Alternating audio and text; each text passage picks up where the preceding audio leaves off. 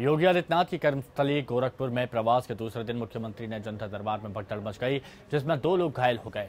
गुरु पूर्णिमा में आज गोरखनाथ मंदिर में भारी भीड़ उमड़ने के कारण महंत की भूमिका में आशीर्वाद कार्यक्रम में शामिल योगी आदित्यनाथ ने कार्यक्रम बीच में छोड़ दिया।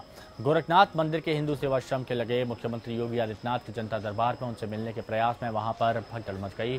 इसी कारण वहाँ पर धक्का मुक्की में काफ़ी लोग गिर भी पड़े, जिसके कारण आधा दर्जन लोग चोटिल हो गए। बताया जाता है कि बैरिकेटिंग व्यवस्था न होने के कारण भीड़ पर नियंत्रण नहीं रखा जा सका।